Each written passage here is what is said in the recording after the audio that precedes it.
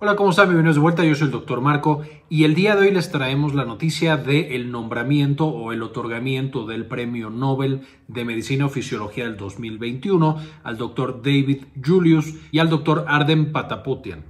Estos dos médicos, por supuesto, teníamos que mencionarlos eh, justamente porque uno, pues el premio Nobel es uno de los principales eh, premios que puede recibir en la investigación biomédica en el mundo, pero número dos, investigaron específicamente, y fueron los que descubrieron en los años 90 y principios de los 2000, cuáles eran los mecanismos a través de los cuales existe la sensación térmica, es decir, la sensación de temperatura a través del tacto y la sensación de la presión, que podamos sentir nosotros presión de nuevo a través de nuestro tacto.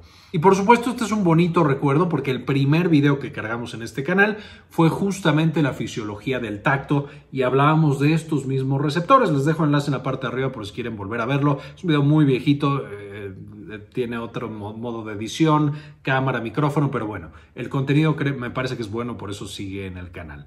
¿Qué fue lo que hicieron estos dos investigadores que trabajaban en California justamente en estos años? Esencialmente, primero que nada, con la, sensación de la temperatura.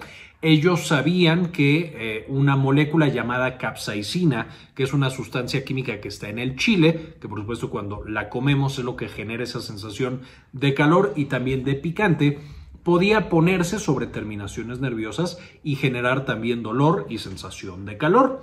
Entonces lo que hicieron fue agarrar células encargadas de la sensación de los nervios periféricos y analizar toda su estructura genética.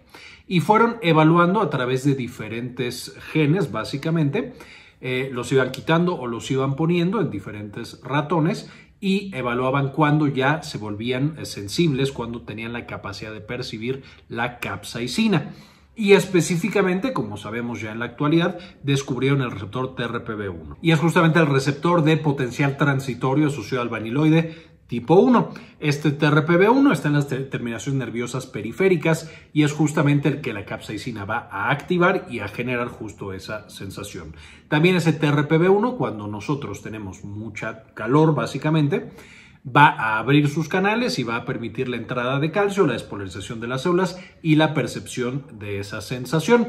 Más adelante, el doctor Julius y el doctor Pataputian eh, también descubren el receptor TRPM8, que también hemos platicado y es justo el que genera la sensación de frío, se activa con mentol y es por eso que el mentol genera esa sensación como de fresco, como de frío y además están súper implicados, especialmente el TRPV1, en el dolor crónico. Entonces, incluso en dolor crónico, de hecho es uno de los mecanismos por los cuales los parches de capsaicina se llegan a utilizar con resultados eh, a veces buenos. Igual eh, la, marihuana puede generar activación de esos receptores de manera tópica y trabajar un poquito en ese dolor eh, crónico. Es el mecanismo por el cual pueden lograr que un dolor crónico con el tratamiento tópico disminuya su intensidad. Y de nuevo han participado en otros, o sea, ese descubrimiento de los TRPV1 y TRPM8 ha participado o ha ayudado en el descubrimiento y el desarrollo de nuevas terapias y de un entendimiento mucho más profundo de ese dolor crónico. Ahora, por si no fuera suficiente, ya habían eh, los dos trabajado en estos receptores del tacto y descubierto que así es como percibimos temperaturas altas con TRPV1, temperaturas bajas con TRPM8 y eh, específicamente que están súper implicados en el dolor y en la percepción. Pero continuaron trabajando y ahora estaban interesados en la estimulación mecánica. Y para esto, de nuevo, agarraban estas células, ahora cultivos celulares, y les metían genes y veían de todos los genes que tenía una neurona periférica, qué gen era el que ya hacía que cuando tú la apretaras se activara. Y descubrieron justamente el gen y bautizaron a la proteína como piezo 1 que también hemos platicado. Una vez que tú estimulas y generas presión sobre alguna parte del cuerpo, para sentirlo se activa el receptor piezo 1, abre canales de sodio, despolarizan a la neurona y tenemos la percepción de tacto. Y más adelante del piezo 1 se encontró el piezo 2 y el piezo 3, que también son muy importantes en esta percepción mecánica.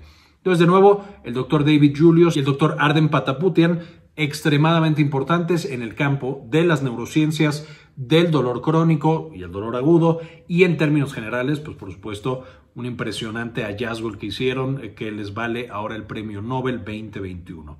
Les dejo en la parte de abajo, por supuesto, la noticia, el enlace para que puedan checar y leer un poquito más de este tema y por supuesto muchas felicidades a los doctores eh, y muchas felicidades a todos los que utilizamos estos importantes descubrimientos para un chorro de cosas. Entonces, eh, espero les guste esta información.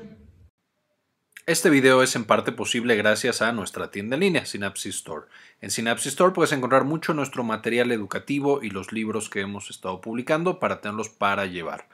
Entonces encontrarás, por ejemplo, la farmagrafía del dolor, que es nuestro pequeño libro de consulta y referencia en cuanto al uso de fármacos para el dolor, en, todos estos que se utilizan, gabapentinoides, antidepresivos, opioides, etc.